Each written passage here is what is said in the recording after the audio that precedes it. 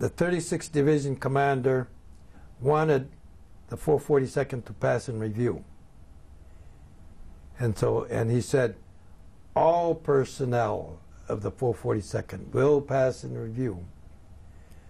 So the 442nd passes in review, and like I say, you got three battalions plus, plus headquarters, and they don't even have a battalion out there passing in review. So General Dahlquist turned around and he said to the colonel, when I order everyone to pass in review, I mean the cooks and everybody will pass in review. And Chaplain Yamada said, This is the first time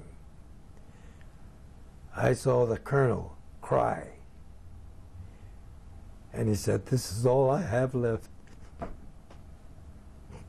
Can you imagine the feeling he must have had